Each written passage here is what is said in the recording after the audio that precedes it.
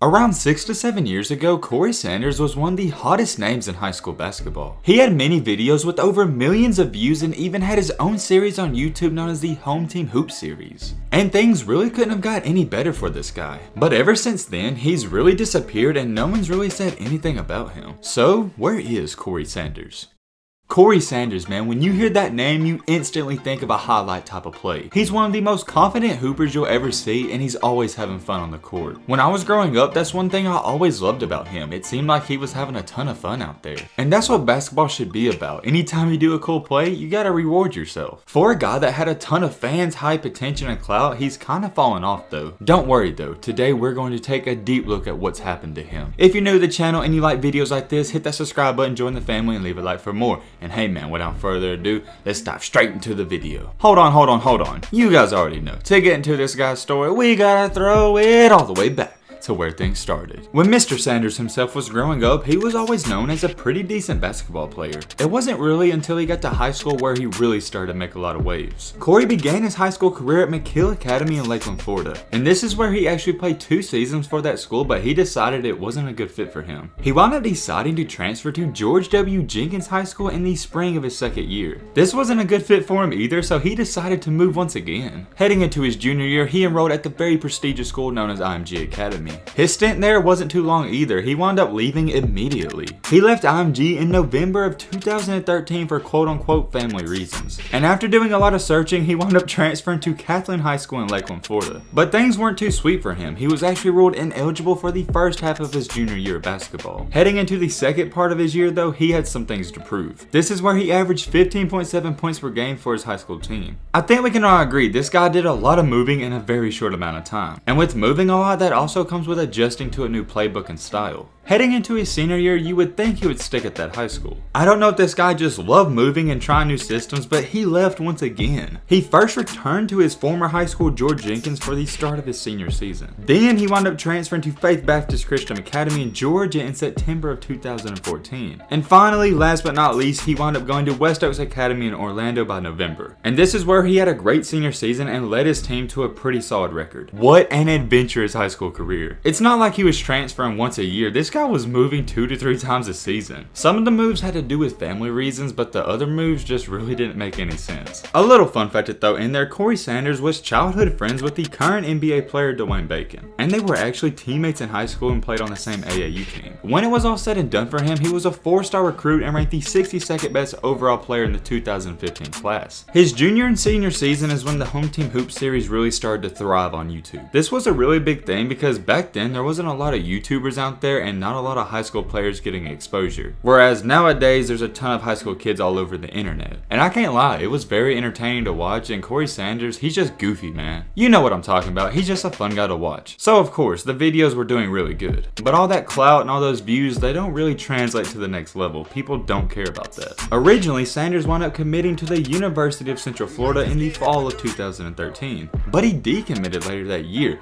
and on September 4th in 2014, he wound up committing to Rutgers. This was a very bold move for him, but I really think it made a lot of sense. Rutgers isn't known as a basketball powerhouse, we all know this. And he had a lot of other good schools offering him, and those may have been better choices. But I can see exactly what he was thinking. If he goes to Rutgers, he can be the star player and shine all the time, and he can play right away. And I'm sure when they were talking and the coaches were trying to get him to come there, they were saying that too. You guys really thought Corey Sanders was going to go to a college and sit his first year? Yeah, I don't think so. And just like I stated, he did not sit right away and he was the main player on that team as a freshman. In his first year there, he led the team in scoring with 15.9 points per game. That is extremely impressive for a guy who had a ton of hype and he lived up to it. One thing to note though that a lot of people really didn't talk about was that he was suspended 4 games for violating rules. That will come into play later in this video so just keep that in the back of your head. For his freshman season, he shot 42% from the field and 31% from the 3 point line. He also pitched in 4.3 assists and 3.3 rebounds, but he was kind of reckless and had 3 turnovers per game. But all in all, for being a freshman on a terrible team, he had an outstanding year. When that year came to an end, the head coach that recruited him retired. At this point, Tom Sanders really considered transferring or even declaring for the NBA draft. And most people thought he was going to enter the draft and he probably would have been a first round or early second round pick. But for reasons we don't know, he decided to come back and try to improve his draft stock and this is when our story takes a drastic turn. Have you guys ever heard the cliche sophomore sophomore slump? Well, that's exactly what happened.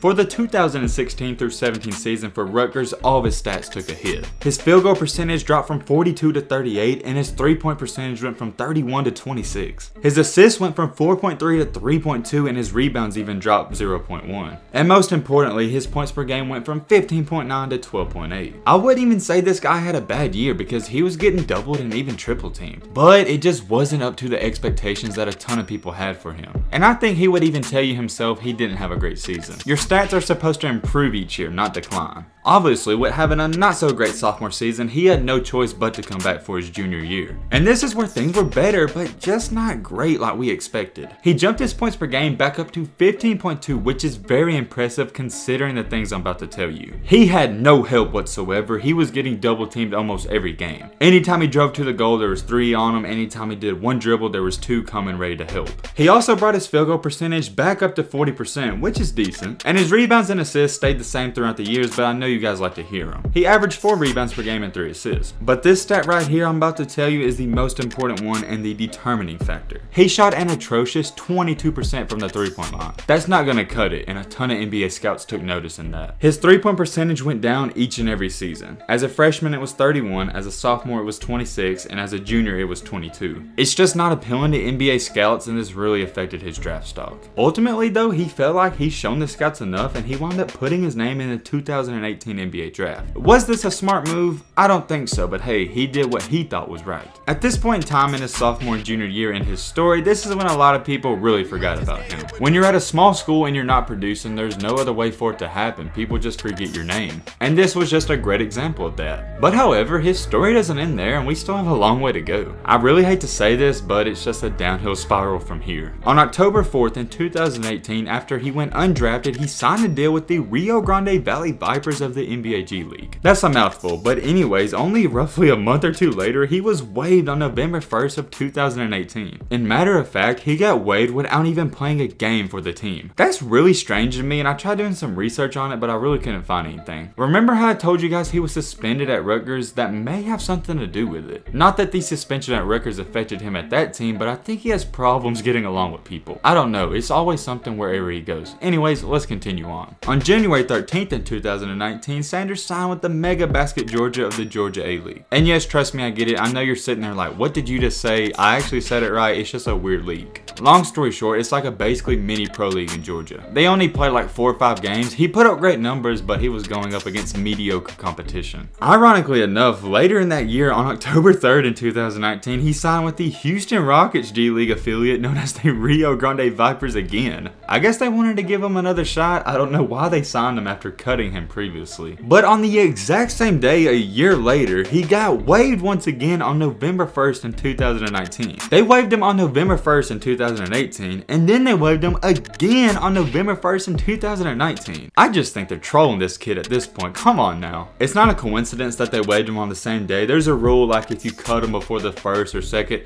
something like that, you get to save some money. So yeah, that was the main reason. But the fact that he got cut on the same day a year later by the same team is just pretty funny and ironic. At this point in time, you would think he's sitting there like, yo, I'm done with basketball. I'm going to do something else. This is miserable. But I got to give this guy some credit. He kept fighting. On December 12th in 2019, Corey Sanders signed a multi-year deal with the NBA G League team known as the Lakeland Magic. Does that Lakeland name ring a bell? It should because that's where he's from and played a lot of his high school basketball. And he signed a multi-year deal with them, so things were looking really good for him. And he didn't have a good year, but he put up some pretty solid numbers for a guy who's been cut a lot. He averaged 8 points per game, 3 assists, and 3.5 rebounds. I know those aren't great stats, but hey, at least he's still producing. He decided that wasn't a good fit for him like he did in high school and wound up going overseas on January 8th in 2020 to sign with a pro team. And this is where he improved his numbers and averaged 10.3 points, 5.1 assists, and 4 rebounds. And he was going up against pretty good overseas competition, so those numbers aren't too bad. But you know my boy Corey, he's always got to be on the move. He decided to leave that team. On May 6th in 2020, he wound up signing for a different overseas team in Poland. And this is where he's currently playing his basketball at and he's still on the team. So yes, as of right now when I'm making this video, Corey Sanders is still out there hooping overseas. And for his team right now, he's averaging 19 points per game, 6 rebounds and 8 assists. Hey, not too bad if you ask me, pretty efficient just like his high school days. And not even his high school days, also his college days. I gotta say, I'm really happy that he's still playing basketball and still grinding out there and trying to hold on to his dream. This guy has had without a doubt one of the most unbelievable